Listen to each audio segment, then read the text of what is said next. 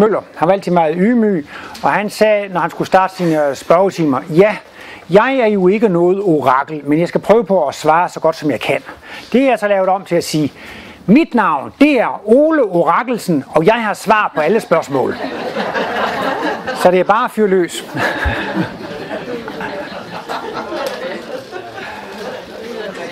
Ja, der er et spørgsmål på her på første række. Det er fra dengang for længe siden. Det Ja, ja. Det er godt, du har en god hukommelse. Du kan huske, hvad det var. Det. Øh, Det der med at være lære, lære, øve, øve, træne, træne Ja. og blive god til. Ja, Det må jo være en hel masse rigtigt med det der Martinus så, fordi hvordan kan en treårig dreng sætte sig ned og spille alle de ting, han bliver bedt om Ja. på et klaver? ja, Han har ikke øvet og øvet og trænet og trænet, så det må han have gjort tidligere. ja. Det er jo den ene ting. Jeg har Ja. to ting, hvis jeg må. Ja. Andet, Det var dejligt. Så, svarer, jeg- så har jeg allerede svaret på det spørgsmål. Det svarer du selv på. Ja, jo. det er. Her går det godt, Jeg ja. tit spørgsmål, Ja. jeg svarer også selv. Ja, her går det godt. Så det er meget godt, ikke også? Så bliver du lettet. Ja, ja, så holder den stadigvæk. Det andet, det er øh, noget, du kom med senere, det der med, at altså, og så dør man. Ja, Og så sidder jeg og tænker, det, det passer jo i grunden ikke. nej, det har du ret i. Man dør ikke. Nej. Man må visne. Ja, Sådan, hvis vi går herud og Ja, ja. planer, de visner, Ja, ja. så kommer de igen. ja, Så vores krop må visne, fordi vi fortsætter jo. ja, ja, ja. Ikke? Jo, øh, jo i grunden ikke. nej.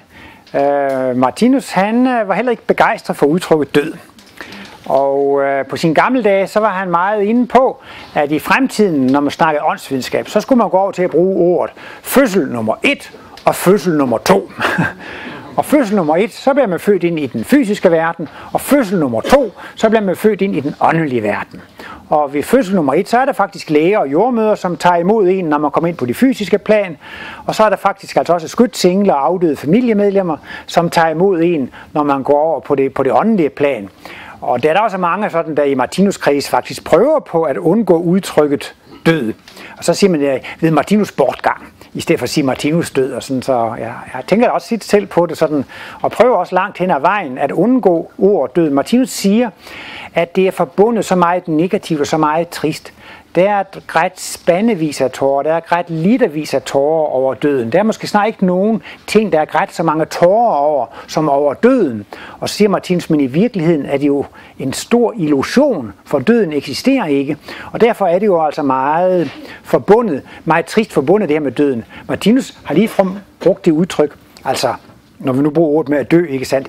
Det sker altid på det mest kærlige tidspunkt for væsenet. Det sker på det bedste og det mest kærlige tidspunkt for deres videre udvikling. Ikke? Og det er jo tit, når folk de dør for tidligt i en forkert alder på forkert måde, så synes man, hvor er det dog trist. Men hvis man havde det store forkromede overblik, så vil man altså kunne se, at man kan også, hvis man forstår, hvordan øh, et kærligt forsyn arbejder, så vil man, gå ind, vil man have en sikker og fornemmelse og følelse af, at alle går bort på det tidspunkt, som er det absolut bedste det kan også godt være, at man skal, man skal gå bort lidt tidligere, fordi man har en livsledsager, som også er gået bort, og så for at man kan komme til at leve sammen, jamen så er det nogle gange, fordi det er også en sjov tanke med reinkarnationen, hvis vi, vi har måske rigtig mange gode venner, som vi ikke har kendt i det her liv, men som er over på det åndelige plan, altså man sådan kommer lidt i modfase, kommer lidt, der kan være mange årsager til, at, men ellers så gør Martinus så meget reklame for døden, og siger, det er vidunderligt at dø, det er dejligt at dø. Især hvis man er gammel, og hvis man er syg. Men det Martinus, han bruger i og for sig ikke så meget udtryk, det er et visne. Men han siger det, kroppen er et redskab. Og det sammenligner næsten ligesom med, hvis man har en cykel eller en bil, der er udslidt, jamen så når den ikke kan mere, så køber man bare en ny cykel, eller så får man en ny bil, ikke sandt? Og sådan er det så altså også, at, at kroppen er i virkeligheden kun et materielt redskab. Og øh, man kan sige, at i virkeligheden er der ikke liv på det fysiske plan, set fra en speciel synsvinkel. Nu ser det ud som om, at vi er levende. Nu bøjer og strækker jeg armen her. Her kan I se, der er liv på det fysiske plan. Men så siger Martinus, jamen altså det liv, der er på det fysiske plan, det er faktisk en bevidsthed, som bevæger de fysiske partikler. De fysiske partikler i sig er egentlig ikke levende. Det, der får ting til at virke levende, det er jo en bevidsthed, som kan bruge materialer. Og, og, og øh, det sætter de jo så yderligere relief, ikke? Sådan, at kroppen er kun et redskab. Og det vil altså sige, skal vi bevæge os i en fysisk verden, jamen så skal vi have nogle ben. Og skal vi se i en fysisk verden, skal vi have fysiske øre, øh, øjne. Og skal vi høre i en fysisk verden, skal vi have fysiske ører. Så det er altså bare et, et, et, øh, et redskab. Så Martinus bruger jo meget det her udtryk, organismeudskiftning. Men nu findes der mange forskellige opfattelser af reinkarnation, og der mener Martinus altså, at man kommer igen præcis som den person, man var, da man døde sidst. Altså præcis ligesom når man vågner op om morgenen, så fortsætter man der, hvor man slap den foregående dag. Der kan vi bare huske de foregående dage, men princippet er det samme. Det er ikke sådan, hvis man har levet som et svin, så bliver man en, et svin næste gang, og har man levet nogen siger, du har levet som en hund, så bliver du en hund næste gang. Eller den elefant, den har opført sig pænt, nu bliver den en menneske næste gang. Sådan noget, det, har, det er jo sådan lidt hindu-tankegang. Altså, det er Martinus slet ikke inde på. Altså, det, og vi kommer netop igen med den personlige, har man spillet meget i et liv, jamen, så kommer man igen med den mm, musikalitet, men også hvis man har et meget ild og hæftigt temperament, kolerisk i et liv, jamen så, så kommer det også med. Det er det, der man næsten flytter med. Og også de gode egenskaber. Martinus siger, hver en lille personlighedstræk, hver en lille vane, hver en lille uvane og alt det, det, det tager man med sig i, øh, i kommende liv. Jeg ved ikke, hvorfor jeg kom til at tænke på det, men der var en film, som hed Manden, som havde to liv. Og det er så altså, ja, det er en meget speciel historie, men det er jo noget med, at konen hun bliver sur over, at manden har været utro. Så en gang de er ude at bade i en sø i en robot, så slår han, hun ham i hovedet med en åre, så han øh, drukner, ikke sandt? Så dør han som 20-årig, og så var konen vist nok for øvrigt blevet gravid i mellemtiden med ham, før han druknede, ikke? Og så, så kommer han jo igen, og så bliver jo også datteren født, så, så han bliver næsten jævnaldrende med sin egen datter, ikke sandt? Og så, så vokser de jo op, og så bliver han jo forelsket i sin egen datter, for det ved han jo ikke, fordi altså biologisk set, så er de jo født forskellige steder. Og øh, så havde han i de tidligere liv sådan en vane med, at han skulle sidde og knipse med fingeren på et vinglas. Og så kom han jo så i kontakt med sin tidligere kone, som jo nu altså var blevet 20 år ældre end ham på grund af den der. Og så begynder han til at knipse på glasset der. Så kan man også se, hvordan hun begynder at få lidt kuldegysninger, fordi at hun kan se den mand, den unge mand, som sidder der, han har nogle vaner, øh, som hendes tidligere mand også havde, ikke? Og, og sådan kosmisk set, så stemmer det med, hvad Martinus siger alle små dyder og laster, alle små personlighedstræk, den musikalitet, altså det er altså ligesom altså den måde, vi er på om aftenen, når vi ligger til at sove, ikke? Den måde er vi også om morgenen. Så der, der ser Martinus altså virkelig, sådan ser han det i hvert fald, at udviklingen den er fuldstændig kontinueret, ikke? Og vi har kun de egenskaber, evner og talenter, som, som øh, vi selv har skabt og, og vi selv har opøvet. Jamen det var vi enige om. Døden findes ikke. Ja. Jeg har også to ting. Hvad Ja. siger Martinus om lotto og organtransplantation? Jo. Ja, i hvert fald kan man jo sige, at ligesom alt andet, så er tips og lotto også karma og skæbne. Det er det. Og jeg har jo nogle gange selv, det er altså ikke Martinus, det er mig, der har opfundet det her lidt populære udtryk, karma-banken. Karma-banken.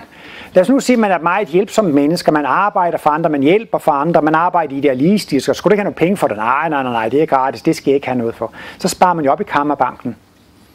Og det vil jo så sige, så kan det jo komme til udbetaling ved en senere lejlighed, ved, ved arv eller lotto eller sådan noget. Hvis man hele tiden snyder og fupper andre mennesker og plattenslager og narer penge ud af folk, så får man jo minus i karmabanken. Så, så det er klart, det er et helt guddommeligt regnskab faktisk med, med, med, med- finanserne og pengene. Der er også nogen, der siger, nu, nu skal jeg have solgt mit hus, og nu gælder det om at få en toppris, ikke? Og så kan det jo være, at man faktisk snyder de andre lidt, og de kommer til at betale lidt for meget, ikke? Men så får man et minus i Karmabank, så kommer man ud for selv skæbnen hvis sin gang at købe noget, som bliver for dyrt, ikke? Så kan det være, at man øh, sælger sit hus til den korrekte pris, og så får man den karma, at man får lov at købe noget til den korrekte pris. Så kan det også være, at man er så dum, man sælger det alt for billigt, ikke? Men så kan man også få den karma, at man får et godt tilbud, hvor man får lov til at købe noget meget billigt, ikke? Så det passer altså fuldstændig. Man kan jo altså sige, at der er et nøjagtigt regnskab, altså man får lov til at få alle de penge, der svarer til det arbejde, man har præsteret, ikke? Sådan er den kosmiske lov, ikke? Og de, der så får de der lottogevinster, det må man formode, at de har præsteret det arbejde tidligere, når de får dem. Men jeg ved det ikke. Der er nogle gange børn, de kan plage forældrene og få noget, og man kan plage hende i banken og få et lån. Så muligvis kan man få forskud. Muligvis. Jeg er ikke helt klar over det, men, men jeg tror ikke på forhånd udelukker muligheden af, at man kan låne i Karmabanken. Jeg mener i hvert fald, at man låner i Karmabanken, hvis man stjæler så har man jo faktisk lånt i Karmabanken, ikke? Altså man går ind og tager noget, som, som ikke var ens eget. Men det synes jeg da, øh, så jeg vil virkelig anbefale, hvis, jeg skal, hvis I ønsker at vinde i tips og i lotto, lad være med at købe nogle kuponer, lad være med at smide penge på det. Gå ud og arbejde gratis og idealistisk og hjælp folk og sådan noget, så, så skal gevinsterne nok komme senere af sig selv. Men det er netop det, at folk de tænker og spekulerer i, at et mirakel skal ske, at jeg skal få en masse værdier, uden at yde noget for det.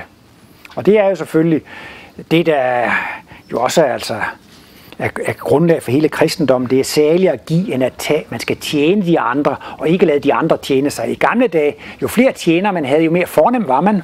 Se, ham der købmanden, han har to tjenere, men ham øh, adelsmanden har fem tjenere, og kongen har 100 tjenere. Altså, jo flere tjenere man havde, jo mere fornem var man ikke.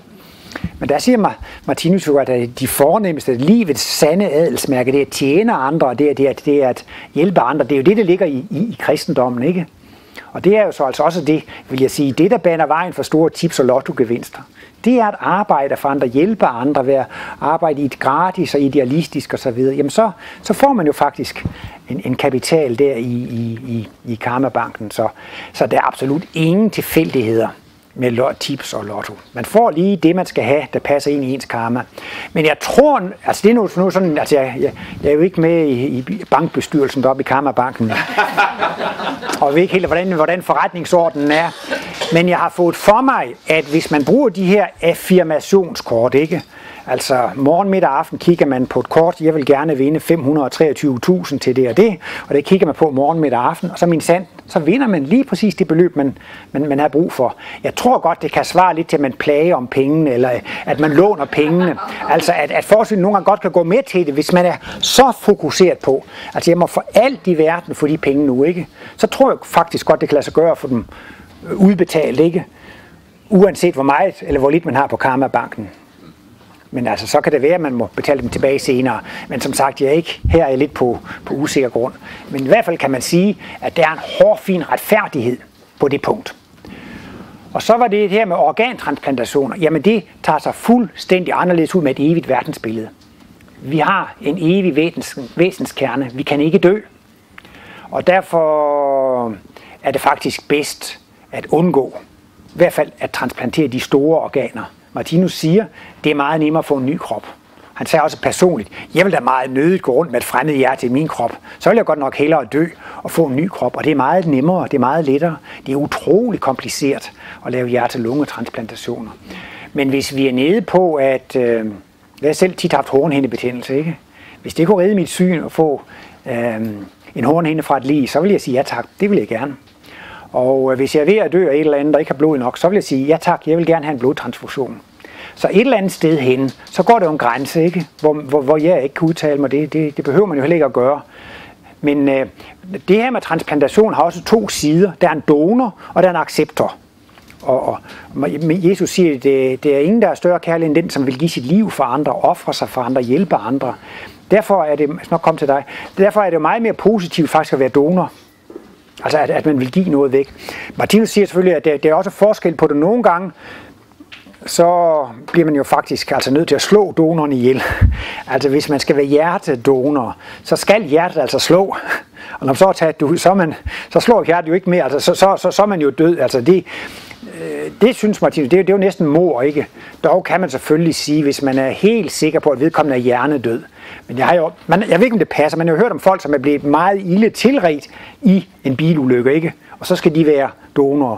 Og så, så kommer acceptoren ikke, og så videre. Og så viste det sig min sand, at så overlevede de alligevel. Altså man ved jo ikke helt, hvornår man træffer grundlaget for, hvornår man kan være organ, organdonor eller ikke. Jeg så også engang de her Monty Pythons, de der engelske komikere, Meaning of Life, og så kommer der jo så nogen og banker på døren og braser ind. Der står her, at du er organdonor. Ja, ja, men øh, jeg er jo ikke død endnu. Det gør ikke noget. Det er du snart. Så smækker de ham op på køkkenbordet og frem med.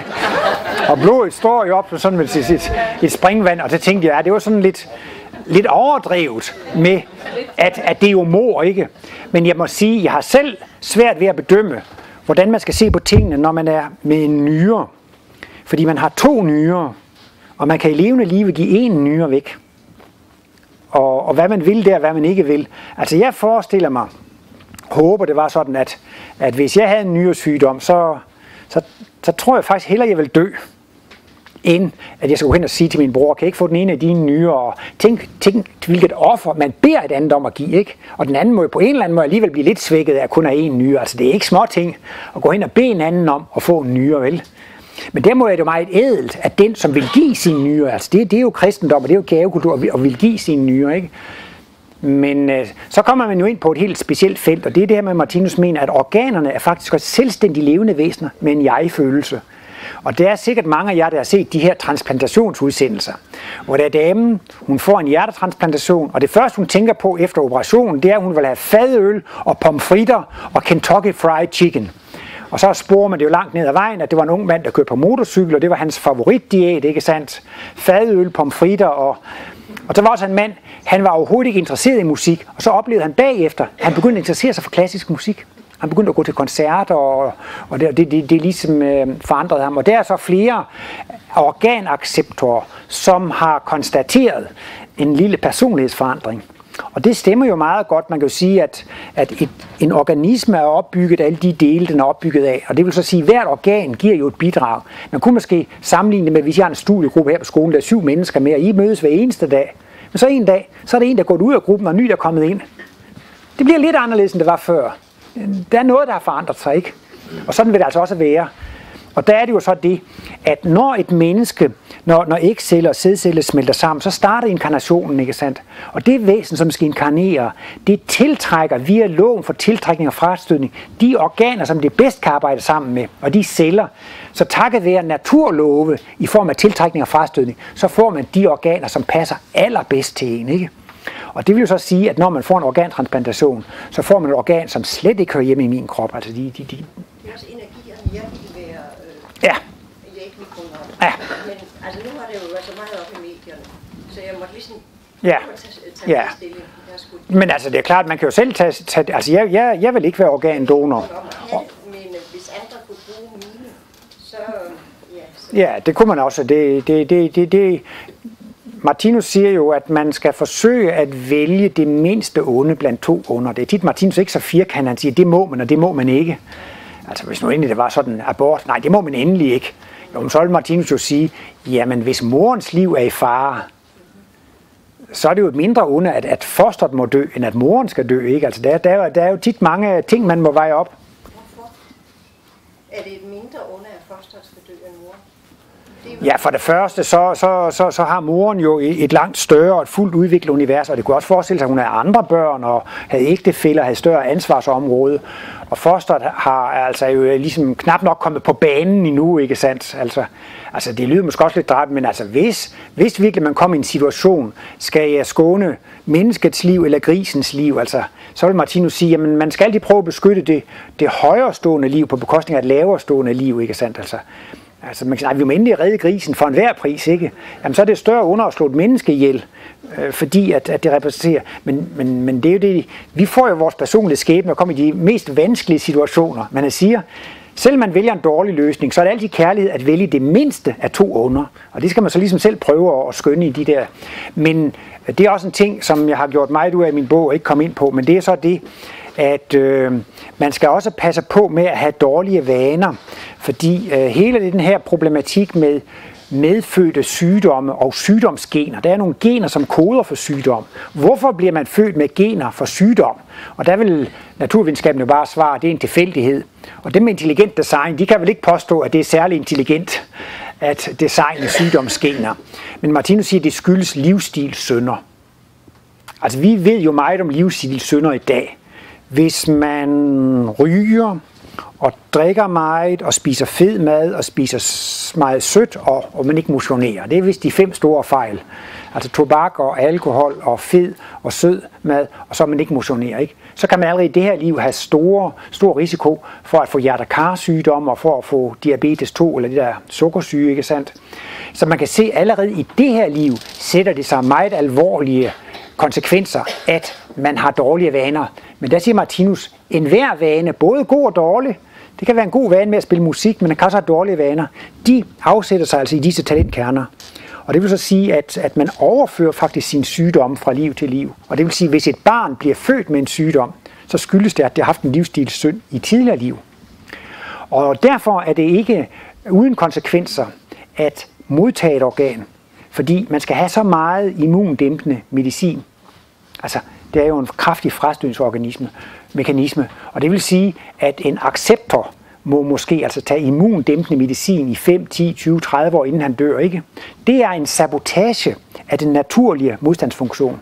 Derfor kan man godt forvente, at vedkommende i næste liv vil få en, en nedsat, øh, i, nedsat immunforsvar, fordi at altså enhver funktion, som man saboterer, det kan også være, hvis man et liv langt tager p-piller.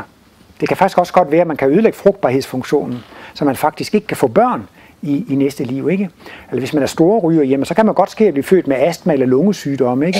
Så derfor kan man sige, at donoren tager jo ikke så meget skade af det, fordi det er en gave, man giver, og så er donoren ud af billedet. Eller eventuelt, så må man leve med en nyere, men, altså, men det er værre for acceptoren at gå med et fremmed og det er også acceptoren, som skal leve med at få nogle forkerte vibrationer ind i sin krop. Det kan måske også stille til med nogle, med nogle spændinger og noget, som, som, er, som er unaturligt. Så Martinus siger jo helt klart, Jamen, så længe man har et livsteori, så gør man alt for at overleve. Man kæmper med næb og klør. Men i det øjeblik, man forstår, at man er evig og har mange liv, ikke sandt? så er det meget bedre at dø. Og der har der også været tv-udsendelser med folk, som er blevet transplanteret, som har sagt, det, som siger, i dag ved jeg ikke engang, om jeg vil anbefale folk at tage det. Fordi mit liv er blevet så fattigt. Jeg kan ikke gå det, jeg skal passe på infektion, og jeg kan ikke gøre det og det og det. Altså nogen, der er nogen, der blevet lidt i tvivl om det, ikke? Om, om det var det hele værd. Så øh, som Martinus siger, det er skønt at dø, det er dejligt at dø. Og især hvis man er syg, og hvis man er gammel, så er det vidunderligt at dø og komme ud af denne, denne tunge fysiske krop. Så det vil forandre sig. Og jeg synes jo netop, at det er helt grotesk, hvis man er inde på, at man vil lidt til at sætte grisehjerter ind i, i mennesker, fordi man ikke kan få donorer nok. Det må jo være en, så lav vibrationer i det der, så det tror jeg vil være meget uheldigt.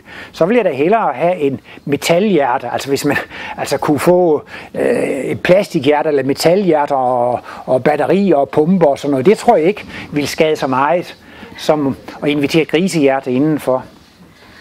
Plus at man har jo slet ikke nogen medfølelse med, det en gris, som skal, at man betragter et levende væsen bare som en reservedelslager, ikke?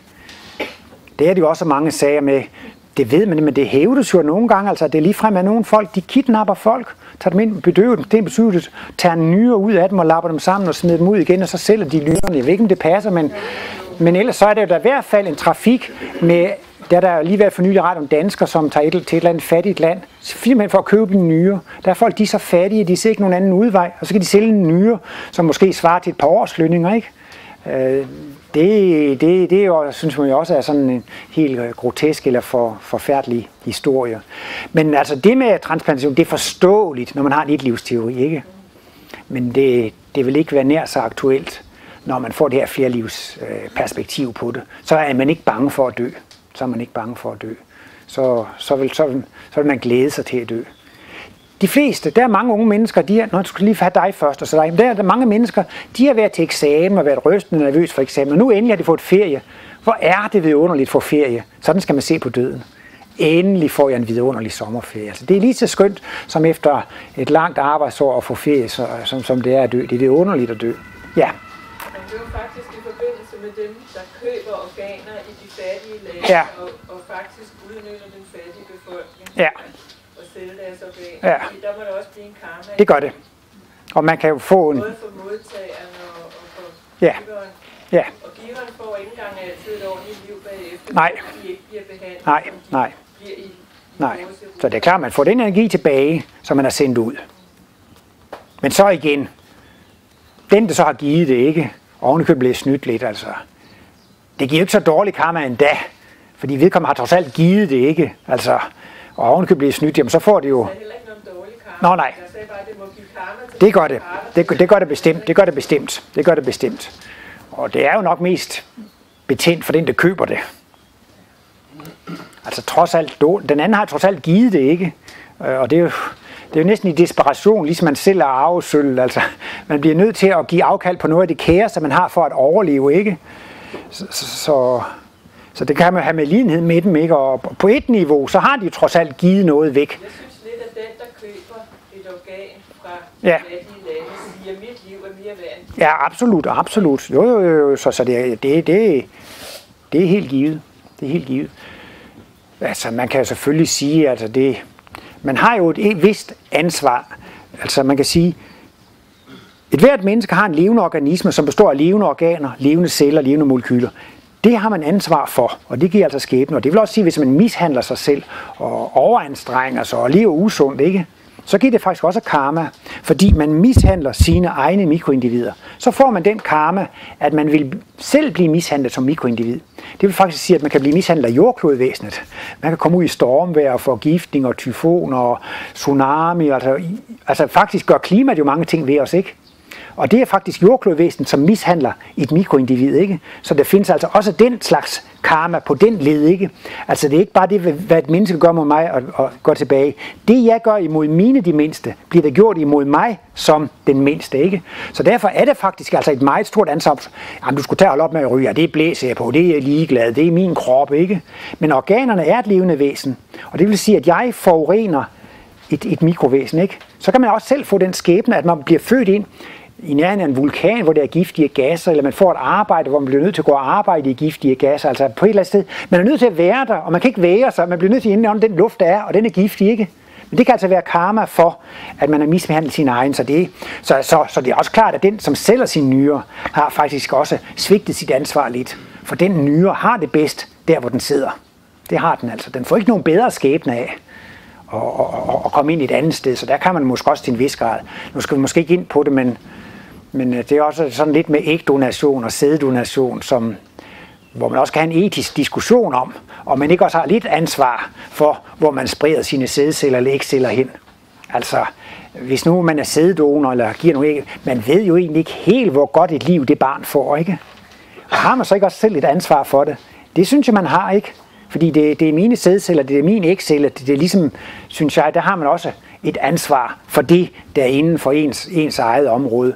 Men, men, men det, det er jo igen et frit valg. Ikke? Det kan jo betyde utrolig meget for nogen, at de kan få en insemination, og det redder hele deres liv, og jeg ved ikke hvad. Så det, det, jeg vil ikke dømme i de sager, men jeg vil bare sige, at det er jo et interessant aspekt på det, når Martinus taler om det her livsenhedsprincip.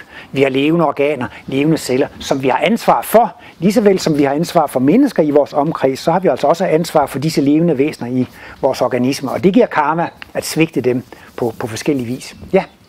Og jeg tænker på, som jeg forstår det, så øh, den personlighed, man har, som man fører, ja. den bliver man reinkarneret ja. med senere hen. Ja. Så sidder jeg og tænker på, hvad, hvad med sådan nogen som Hitler og Stalin? Altså... Ja, det er jo det, heldigvis den fordel ved reinkarnationen, at tavlen bliver vasket ren. Normalt kan man ikke huske, hvad man var før. Og det er jo dejligt. Nå, det nu ham den lille kriminelle, der kommer igen, og hvad er det? Ham den lille bandit der. Så, så på den måde, så er det faktisk en stor velsignelse, at tavlen bliver vasket ren. Og det er det for os alle sammen. Fordi vi er på højden af vores udvikling. Vi kan have lavet slemme nok ting i det her liv, men sidste liv har vi lavet værre ting, og to liv tilbage endnu værre ting, og jo længere tid vi går tilbage, jo endnu værre ting har vi lavet.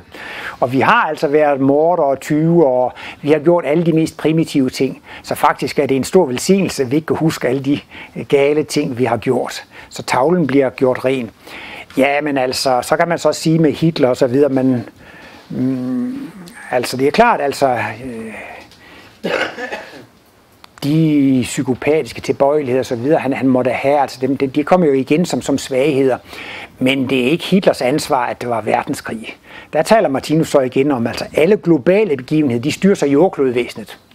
Og så var Hitler det bedste redskab, der skulle til for at udløse den her funktion. Og hvis og det er faktisk uanset om det er en profet, eller en verdenslæger, eller det er en kriger eller en diktator, ikke sandt? Den medgang, de får, den får de fra de højere magter. Og den største højere magt i vores nærhed, det er jordklodvæsenet. Og øh, der siger Martinus, at den er omtrent på vores udviklingstrin, for vores jordklod, den kan faktisk også godt blive sur og vred og irriteret. Og hvis vi bliver sure og vrede og irriteret, så kommer der faktisk verdenskrig i vores mikroverden. Altså tankerne har umådelig stor betydning for vores sundhed. Og hvis vi er sure og vrede osv., så, videre, så laver vi meget ulykkelige og elendige forhold i vores, inden i vores egen organisme. Og når jordkloden så bliver vred, så skaber den ulykkelige omstændigheder inden i organismen, for, ved for eksempel så at lave uh, verdenskrige. Men øh, det vil så sige, altså, at den krig der, den, den, den er på et niveau med jordklodets viljeføring. Og hvis det så er et menneske, som også kan udføre det, så er det menneske det bedste redskab for jordkloden. Vi er ikke sådan 100% marionetdukker, men alle de funktioner, som jeg vil have udført nede i organer og celler. Det kan mine organer og celler så stille op på, og de bliver tiltrukket til mig, fordi de passer lige ind der. Og så er Hitler jo også blevet inkarneret der, hvor han passer bedst, og Napoleon. Og så har der været andre diktatorer, de fik ingen medgang. Og så fik Hitler medgang, og så fik Napoleon medgang. Det var faktisk, fordi de fik støtte af jordklodvæsenet. Hitler, han fik støtte af jordklodvæsenet, så længe jordklodvæsenet var gal og ej. Så beherskede jordklodvæsenet sig lidt, og så, og så, så mistede han sin magt. Jeg tænkte mig, Martinus mener simpelthen, at det er faktisk jordklodvæsenet, som indsætter præsidenter og par, øh, øh, øh, kejser og så videre. Altså for eksempel var det jo den der med, om det nu skulle være, var det ikke øh, Bush og Al Gore, og de tælte stemmer op i en i lang evighed. Og det endte altså med, at det blev Bush, som blev præsident, og ikke Al Gore. Og det må man sige ud fra Martinus kosmologi. Jamen det skulle være sådan. Jordklodvæsen ville altså have det, så man var nødt til at snyde lidt med stemmerne i Florida. Altså, noget fælles kunne det ikke lade sig gøre. Men altså... Men det var, og der må man jo sige, at han har jo haft stor betydning for verdenssituationen, ikke? Men det er ikke Bushes skyld. Jordklodvæsen ville have det sådan. Og så var Bush den, der bedst kunne gøre det. Men så er det jo det, vi er alle sammen redskaber for hinanden. Og det, der så drejer sig om, det er at være redskab for at udfylde den gode karma. Der skal jo både udfyldes god karma og dårlig karma. Der er en mand der, han skal myrdes, han skal slås ihjel. Sig mig, er det ikke nogen af jer, der vil gøre det? Nå, men så bliver jeg jo nødt til at slå dem ihjel, hvis I ikke vil gøre det. Nej, det gør man altså ikke. Man behøver aldrig at ført en dårlig kamp, for det er der mennesker nok, der vil på den her klode. Så det, det drejer sig om for hvert enkelt individ, det er jo kun at udløse god karma og sige, jeg vil være redskab for at udløse den gode karma. Hvis der er nogen, der har lyst til at udløse den dårlige karma, værsgo, så lad dem gøre det. Og så gør de det jo, som er på de naturlige udviklingstrin. Jordkloden havde lyst til de raseriudbrud, og det passede lige ind i krammet på Hitler. Så Hitler, han gjorde det, som jordkloden ville. Men det er altså ikke ham, der sådan, sådan set kan sige, at det var ham, der slog dem alle sammen ihjel. Man skal også tænke på, at de 50 millioner mennesker, som blev slået ihjel under 2. verdenskrig, det var deres karma. Det var det, der var nødvendigt for at hjælpe dem frem i, i deres udvikling. Så, men altså, det er selvfølgelig imponerende, hvad han kunne gøre, gøre og lave øh, Hitler, men altså, han, han kommer jo igen og, og, og får jo også en vis skæbne og en vis karma, og øh, han, øh, han bliver måske ikke sådan lige diktator igen, og kan blive redskab for det. Så det kan jo være, at han kommer til at leve i lidt mere ydmyge forhold, og det kan jo, altså det er ikke sådan, men Martinus har i hvert fald tit antydet, at det kan tit være, hvis man har været herremand og rig mand og præsident og konger og kejser og været ovenpå, så kan det meget nemt følge en, en, en inkarnation med det modsatte at man er, at man er slave, man er bundet og bastet, man skal arbejde, og man skal øh, tjene osv. Det er tit altså. Og sådan er det jo. Hvis der er en herremand, som mishandler sine træller og daglejere og slaver, ikke sandt? Jamen, hvordan skal han lære at holde op med at mishandle dem? så skal han jo selv prøve det. Man skal selv spise den kål, man er spyttet i. Så, så derfor, derfor kan det jo godt være, at Hitler faktisk får en skæbne, hvor han bliver underkastet en diktator, ikke? Og får nogle meget ubehagelige oplevelser ved at leve under et helt urimeligt diktatur. Og ellers så har jeg en ukult nyhed. Jeg har hørt, at Napoleon skulle være inkarneret som Putin. Så, så, så det kan I jo lige tænke lidt over. Jeg har hørt det for en 5-10 år siden, og efterhånden synes jeg, jamen det, det kunne jeg da egentlig godt forestille mig, og godt forestille mig, at, at måske kunne han godt være, være redskab for det. Det kan godt være, en aften inkarnation i mellemtiden, det ved jeg ikke, men øh, sådan kan det måske også gå, altså at, at, at, at har man en gang kunnet være talentkerne for at gøre noget for jordklodvæsenet, så kan det også godt være, at man kan udfylde en sådan funktion en gang til. Men det kan altså også godt være, at man Altså har man underkastet andre, så er, det, så er det måske næsten lige så sikkert som ammen i kirken, så bliver man selv træl i næste liv, fordi så kan man, så kan man smage det man, det, man har gjort mod andre. Men det er svært at vide og sige i detaljer, det er, det sker det med dem. Men altså det er klart, at de får karma og skæbne for alt, hvad de gør, og der er en 100% retfærdighed. Ja, vi tager dig først, ja. Hvis du siger det der med, at øh, man har, øh, man, man møder ligesom man siger, den omvendte situation, ja. det hører du siger. Ja. Hvis du så har øh, opøvet, nu snakker vi om talentkerne, ja. du har øh, opøvet, du har en talentkerne for at slå ihjel, ja. eller du har en talentkerne, der handler om at spille musik. Ja. Så vil du være, øh, øh, altså for at den talentkerne så ikke kan blive udviklet, den vil jo stadigvæk være det, selvom du siger, ja. at ja. så vil den her vanemæssige tilbøjelighed jo stadigvæk Absolut. Sindet, ikke? På godt og ondt, ja. Okay, så hvad er det så, der gør, at lige præcis den tendens med at slå ihjel for eksempel ikke bliver aktiveret i næste liv? Er det så karma, der udløser omstændighederne, der gør, at det ikke bliver aktiveret? Så er det nogle andre ting, altså hvor du så måske bliver underkastet, i stedet for ja. at være den, der bestemmer? Ja. Ja, ja talentkernen for at slå ihjel, den har man jo med sig. Det, det, det har man. Og øh, det, er da godt, det kan da godt være, at man ikke lige har chancen for at komme afsted med at gøre det, men man har altså alligevel øh, vel, vel tendensen. Jamen, jeg ved ikke, lige, hvis jeg skulle gøre det sådan lidt mere skematisk, så kan man altså... Det er jo så tror jeg, jeg vil komme med det, Martinus forklarer i, i, i bibelcitatet. Det er Paulus, som siger, det gode jeg vil, det gør jeg ikke. Og det onde, som jeg ikke vil, det gør jeg. Så det er jo en trist situation. Og det forklarer Martinus ud fra talentkerneprincippet. Det onde, jeg ikke vil, det gør jeg. Det er fordi, det er et dyrisk talent. Altså alle de dyriske egenskaber, det er egoisme og kamp og drab og så videre, ikke? Det vil jeg egentlig ikke. Men det kører på automatpiloten, fordi det, det bliver talent på det allerhøjeste stadium, ikke? Så er det det gode, jeg vil. Det gør jeg ikke. Det er fordi, det er ikke blevet den vanefunktion endnu. Altså jeg skal ligesom tænke mig om, nu må jeg være god, jeg må hellere hjælpe det, ikke sandt? Og så er det så selvfølgelig nogle talenter, de kan godt degenerere i det lange løb, når de ikke bliver brugt. Så begynder man at sige, nej, nu skal jeg til at være god og kærlig, og man har måske alligevel en vis tendens. Men så kommer der så et liv, hvor at man har jo meget vrede og aggression, men øh, det bliver så meget dæmpet, så det kun bliver til trusler, og det bliver kun i munden, og det bliver vredesudbrud. Kan måske også være, at det bliver vold og slagsmål.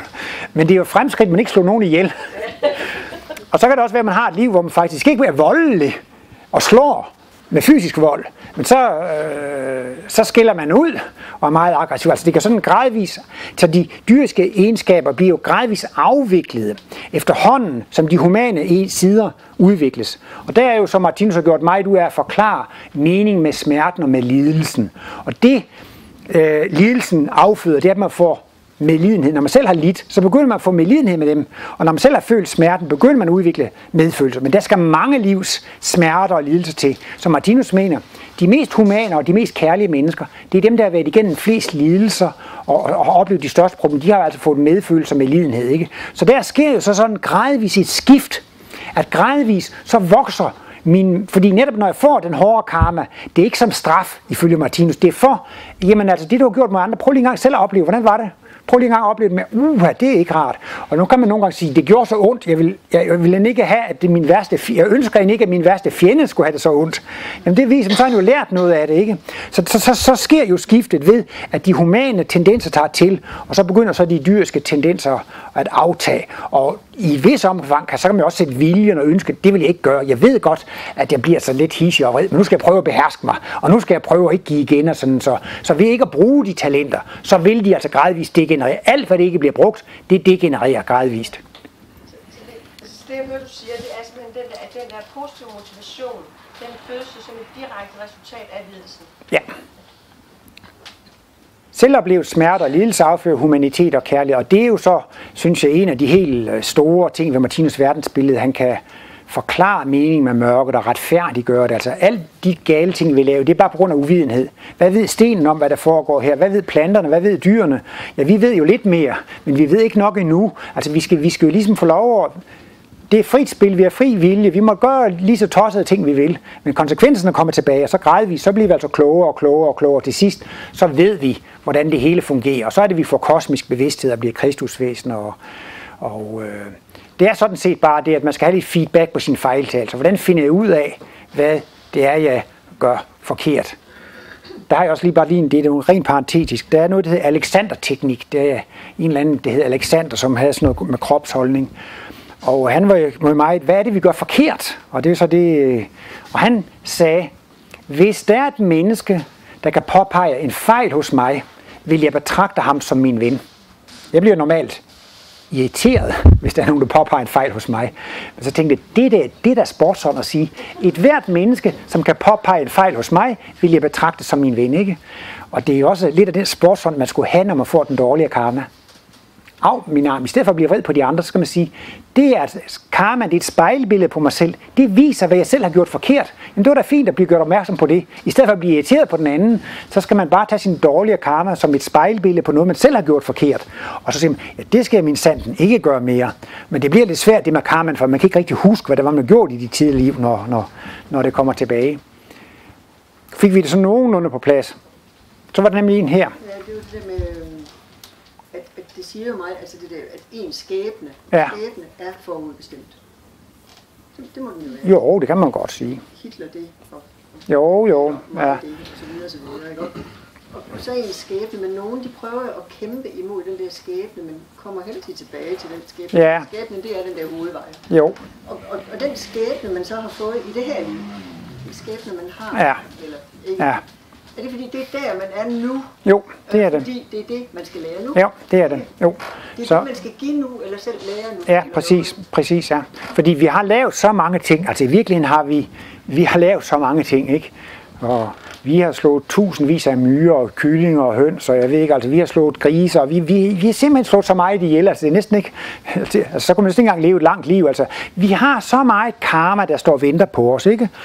Og øhm, så vidt som jeg har forstået det, så er vi faktisk også selv lidt med til at planlægge de liv. Jamen det liv vil jeg gerne opleve det, og det liv vil jeg gerne opnå det. Jamen, så siger man foran, det er ikke noget problem. Så tager vi bare lidt af den karma, og lidt karma af den, så tager vi 5 pund af det, og 2 kilo af det, og så en lille drys af det. Altså, der er nok at tage af, og der er vi faktisk selv lidt med til det, ikke? Altså, det siger, altså, Martinus ikke sådan detaljeret ud, men, men jeg har da for mig, altså, at, at det, der foregår, når man dør, det er, så passerer livet revy.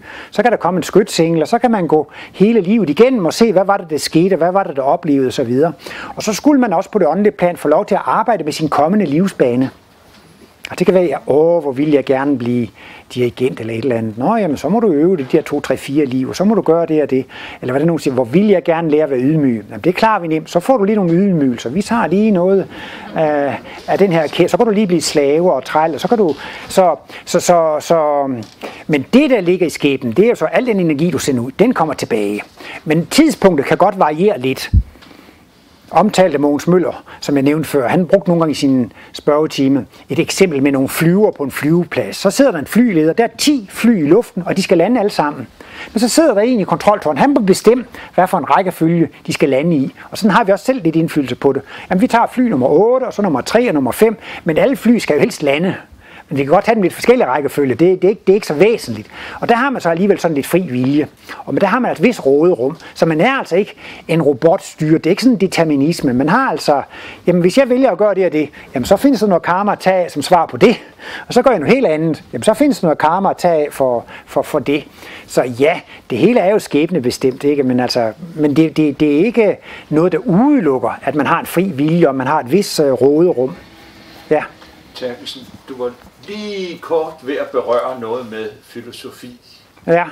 Og øh, det, jeg kunne tænke mig at lige spørge dig om, det er noget med, at øh, øh, hvordan er, øh, når vi nu tager Martinus Ja. og så, så også dig, altså, hvordan er jeres øh, forhold til, så kan man sige, den klassiske filosofi med Platon og Kant og så videre? For jeg synes jo, altså nu for eksempel, du siger øh, den åndelige verden og så videre, og, og man kunne godt sige, Kant, han, han er jo, I er jo tæt op af hinanden, for Kant Jo. taler jo også om tingenes idé, og så det Ja, ja, ja, ja, ja, ja. Men hvordan oplever I de to verdener? Hvordan oplever du de to Ja. verdener? Er, Jeg oplever det jo, så jeg ser lidt på, at øh, der er noget, der intuition. Ja, Og det er jo kilden til sandheden. Og så kan man så gå ned til de gamle grækere og gå igennem hele filosofiens historie. Og så kan man faktisk se, at der har været mange filosofer, som har haft en god portion intuition. det har jeg. Og øh, jeg synes jo, jeg er ikke sådan studeret, men jeg synes jo, det virker til, at mange af de gamle græske filosofer har haft meget intuition. Bestemt. Og det virker også til, at Kant var ganske intuitiv. Og i det omfang, som en øh, filosof har været meget intuitiv, så er han kommet på nogle rigtige ting. Det, det, det, det, sådan ser jeg på det, ikke? Altså, og, og, og det er jo sådan ligesom omfanget af deres intuition, der, der, der viser, hvor store sandheder de, de, er, de er kommet på. Men sådan, for at være lidt ubeskeden, så mener jeg så, at Martinus' intuition har haft et sådan voldsomt omfang, så han har kunnet lave en helhed, en Ja. totalitet, et evigt verdensbillede. Hvorimod med de andre filosofer, så er det som regel kun fragmenter af sandheden, de er kommet på. Og, og derfor mener jeg så, at mange filosofer har en fragmentarisk viden af hele det evige verdensbillede. Og det er så altså så det, Martinus kører frem med på sine 8.000 sider, at han siger, at det lykkedes ham med sin intuition at få et totalt overblik over hele verdensaltet i det uendelige mikrokosmos og i det uendelige makrokosmos og i en evig for, en uendelig fortid og en evig fremtid, altså at han har kunnet, og det siger han, det er altså, ja, han siger lige frem med intuitionen, så kan man vandre ned i mikroverdenen, og man kan vandre op i makroverdenen og frem og tilbage i tiden, altså at, at man kan få en, en, en, en total overblik over det. Tillad mig lige et bispørgsmål, så lige i forbindelse med det.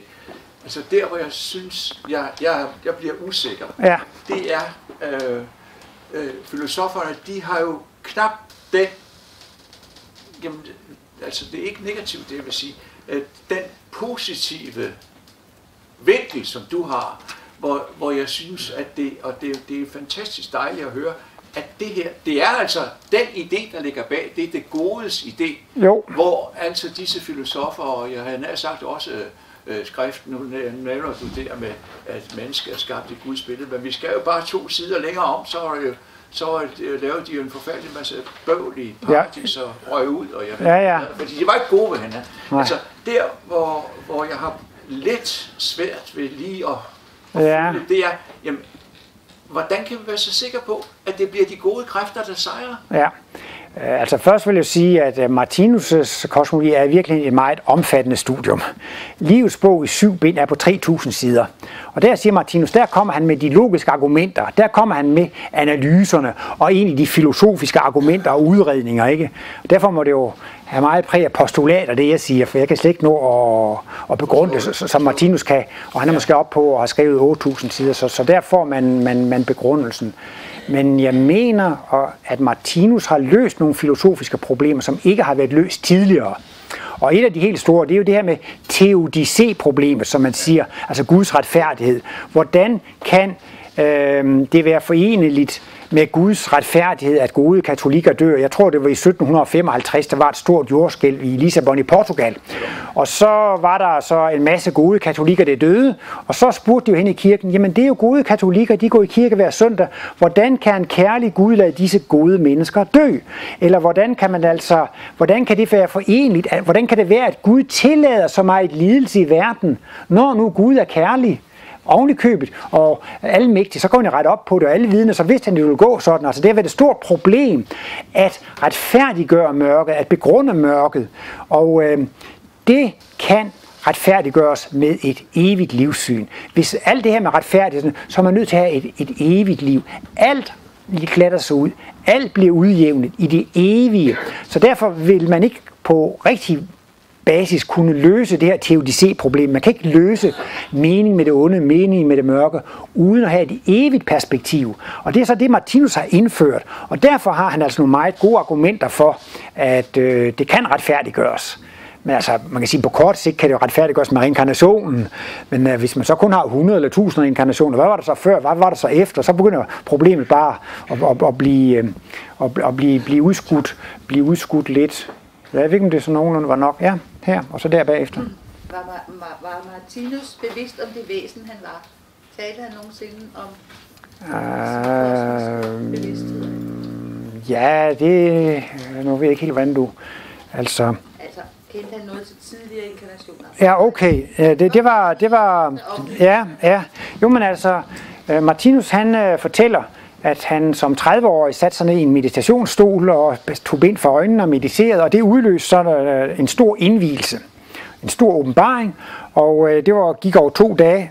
Men det, der var det mest interessante ved det, det var, at, at det har efterladt en permanent virkning. At det var ligesom, om han havde fået en permanent bevidsthedsudvidelse, og at han ligesom var øh, født ind i en åndelig verden. Så det var ikke bare det, at han har haft en, en, en oplevelse og en indvielse. Det har medført en bevidsthedsudvidelse, som gjorde, at han kunne kigge ind i det der. Og han opdagede, at han fik åbnet for alle psykiske evner. Altså han, øh, han, øh, han øh, prøvede det der med at gå ud af kroppen og så videre. Og, øh, og så, så fandt han jo, det var ikke noget, han skulle sysle med. Han kunne mærke andre folks sygdomme. Nej, det var heller ikke noget, han skulle sysle med. Han skulle ikke lave mirakler. Altså, han, han, øh, han, han, han kunne mærke, at han havde fået en meget speciel opgave. Og det var ikke at lave mirakler og gå ud af kroppen og alle de der ting. Han, han havde fået en ganske speciel opgave, og det var at lave, hvad han kalder for kosmiske analyser. Han skulle forklare, han skulle lave en ny åndsvidenskab, som skulle give en logisk forklaring på det. Og han kunne mærke, at det var det eneste, han fik lov til at bruge sine åndsevner på. Der var nogle gange, når han gjorde noget, som han ikke skulle, så kunne han næsten mærke ligesom en hånd på panden, der holdt ham tilbage. Altså, han følte, at han var under en slags åndelig vejledning, og kunne føle, hvad han skulle bruge sine evner på, og han ikke skulle bruge sine evner på. Han sagde, Jamen selvom man har kosmisk bevidsthed, så er der også moral, og så må man ikke misbruge sine evner. Og det enten var det misbrug eller spild af evner at bruge det på andre mennesker. Altså, han havde ikke fået de evner, og var der ikke for at undersøge, hvad har du været i tidligere liv, og hvad for en skæbne ville du få. Han brugte aldrig sin kosmiske bevidsthed på at undersøge andre menneskers skæbne. Han sagde, jamen, altså det var altså faktisk næsten, altså, kontraktbrud. Altså nu har han fået disse høje åndelige gaver for at lave det her, ikke? Så, så skulle han ikke misbruge dem på noget så småt som at, at trænge ind i folks privatliv og, og se om det. Og der lagde han, der lagde han så til, at, at uh, han kunne mærke, at han skulle ikke undersøge, hvad han havde været i tidligere liv. Og det var, det var helt uinteressant. Men så siger han jo så, det lyder måske sådan lidt højt, men han siger jo altså, at han, at han var et kristusvæsen. Og at, altså, at han havde sådan en helt dobbeltpolet bevidsthed. Han var ikke mand og kvinde, han var ikke gift, altså at, at han var dobbeltpolet. Og så taler han, han, Martinus taler altså ikke om sådan noget hierarki. Altså han siger, når man har fået kosmisk bevidsthed og er blevet et kærlighedsvæsen, et gudevæsen, når man er blevet skabt i Guds billede, så er man 100% kærlig. Så kan man ikke blive 110% kærlig, 120% kærlig, og æbe, jeg er mere kærlig end dig. Altså på et eller andet tidspunkt, så er man bare al kærlig, ikke sandt? Så derfor havde Martinus altså det, at der er ikke noget kristusvæsen, der er bedre end et andet kristusvæsen, ikke? Men så er det jo klart, jamen hvis altså, han har været Jesus Kristus, som blev født for 2000 år siden, så giver det jo lidt prestige, men det er jo egentlig noget pjat, fordi bare fordi vi kender navnet på nogen, nogen, så synes vi, det er enormt prestigefyldt, ikke? Men vi, nej, det er et kristusvæsen, ham har vi aldrig hørt om, ham regner vi ikke med. Men altså, et alkærligt, hvis det er et alkærligt, sådan så Martinus på det, så, så er man det. Og vi er alle gudesønner, og det er ingen, der er mere vigtige end andre. Hvert væsen har et jeg, og alle væsener, de smelter sammen til guddommens jeg. Og faktisk er det altså sådan, at alle væseners overbevidsthed smelter sammen til guddommens bevidsthed. Vi er alle sammen lige vigtige. Det er ingen, der har, der har, har større betydning end, end andre.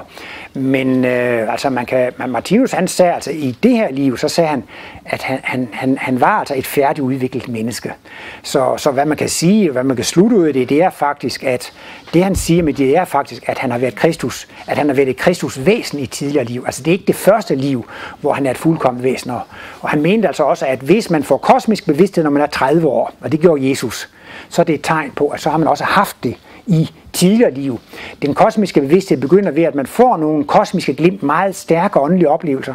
Og man får måske bare et kosmisk glimt i et liv.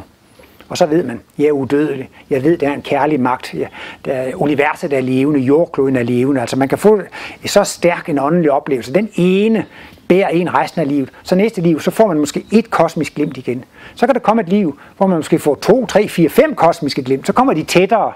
Og så på et tidspunkt, så bliver det altså en permanent tilstand, man er i, så, så, det, så det kommer sådan gradvist. Men han mente altså, altså det er først, når man er 30 år, man sådan ja, er fuldt udrustet, eller sådan på en eller anden måde, altså, eller med 28-30 år. Og hvis man så får kosmisk bevidsthed der, og det er en permanent tilstand, så har man haft det tidligere.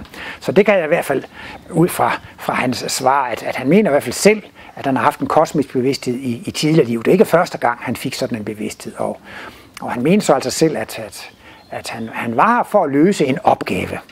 Og øh, øh, altså, han, han, han, øh, jamen han sagde, at han kunne have haft et meget nemmere liv, han kunne have lavet de ting, og han kunne have gjort det og det og det, men altså, han, han brugte sine evner på udelukkende at lave logiske forklaringer om livet, og forklare, hvorfor er livet sådan og sådan. Og det er det, han kalder kosmisk analyse, der laver sin åndsvidenskab. Og øh, jamen, han sagde, at han måtte lukke for alle andre psykiske evner, og han gjorde det. Og det tog ham faktisk, siger han, syv år fra han fik sine åbne det hele, til faktisk han har fået det hele under fuld kontrol. Det, han fortæller jo en gang, at han kom op i en sporvogn, hvor der var en meget, meget syg mand. Han havde sukkersyge og var meget syg, og det kunne Martinus mærke. Og det gør lige så ondt på Martinus, så Martinus blev helt svimmel. Han blev smidt ud af sporvognen, fordi at konduktøren tror, han var fuld, og han vaklede rundt. Og så lang tid efter, han turde ikke gå ind i overfyldte sporvogne, kun hvis de var tomme sådan midt på dagen. Han, han, han kunne ikke gå i biografen og se noget med skyderi, eller det var også noget med, han havde set en, en film over noget med Ibsen, hvor, det, hvor så var det slagsmål der, det kunne han slet ikke tåle. Altså, han var så utrolig følsom for andre menneskers sygdom og skyderi og vold osv. Og altså, han var så, det gik lige ind alt sammen. Og, og det bad han om at få lukket for. Altså, han, han, han var decideret i bøn om at få lukket for alle klærvoriante evner, helbredende, altså og, og så videre. Men han havde måske nogle, nogle evner. Der var en mand, som hed Louis Brinkford, han havde tit hovedpine, så opdagede Louis Brinkford, at hvis han besøgte Martinus, så forsvandt den. Men det stod jo lidt for tit på, og Martinus skulle se at skrive, så en gang så blev Martinus nødt til at sige, at det, det tog jo lidt for meget af hans tid. Men så fandt han så ud af Louis Brinkford, bare han ringede til telefonen til Martinus, så forsvandt hovedpinen også. Så, så, så er det jo lidt bedre, at han bare lige ringede lidt, så, så, så, så, så det er jo muligt, at han er, er på en eller anden måde alligevel sådan næsten ikke uundgåeligt. Måske har haft nogen helbredende evne, eller haft en, en, en positiv indvirkning på folk i hans nærhed. Men øh, selv før han fik kosmisk bevidsthed, så arbejdede han på et kontor, hvor, hvor de siger, at han havde en forædlende effekt. Der var en gang chefen sagde til ham, øh, Martinus, øh, hvis nu øh, ham der ringer, så sig jeg her ikke. Så siger Martinus, det kan jeg ikke. Det, det, det var som om mit hoved skulle eksplodere, hvis jeg, kunne, hvis jeg skulle lyve. Altså før han fik godt, det, det kunne han ikke. Altså han kunne simpelthen ikke gøre sådan noget. Og, og, og øh, han, jamen, han var også så hjælpsom og så ærlig og så videre. Der var en gang, han gik sammen med chefen, så, så kunne chefen ikke forstå, det er da mærkeligt, de hilser altid på Martinus, men ikke på mig. Jamen, så siger Martinus, det er da nemt nok, man skal bare være den første, der tager hatten af. Men det var også engang en, en, en altså, det var de der mælkekuske, han var jo på et mejeri og sådan noget, så blev det jo tit noget til over, og så fløden var jo dyr og så videre, og, og nogle gange så, så kunne man jo hælde vand i, og så, øh, og så sælge det og tjene nogle penge. Der var mange, der snød og, og fubbede med sådan noget, med, med de der varer, ikke sandt? Og så var der også nogle, men han gjorde jo bare ligesom de ældre kuske gjorde, og snød lidt der med, med de der varer. Og det opdagede chefen jo, og så blev den unge mand jo fyret, fordi... Og så synes Martinus, ah, det var nu synd for den unge mand. Det er jo bare noget, han har lært af de her gamle kuske der. Han er jo ikke så gal og sådan noget. Så gik Martinus op og talte med chefen, og talte den unge mands sag. Og så endte det med, at han blev genansat.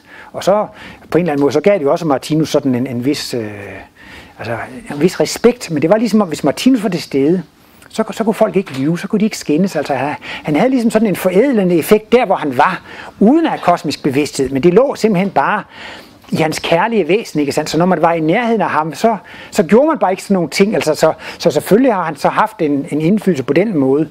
Jeg har også oplevet ham, men jeg føler ikke, jeg har ikke sådan nogle specielle, jeg kunne ikke sådan, øh, jeg var ikke sådan psykisk, så jeg kunne mærke noget. Jeg synes bare, at det var da en usædvanlig rar bedstefar, en gammel mand. Han var så rar og venlig, men jeg kunne ikke mærke, at der var noget mystisk. Og han gjorde ikke noget for at have langt profetisk skæg eller øh, gå i specielt tøj. Han prøvede på at se ud ligesom andre, klæde sig ligesom andre og, og leve altså det er helt, helt normalt. Så altså, han gjorde ikke noget stort nummer. Han tog sig selv meget uhøjtidligt og kunne lave sig spøgefuldheder.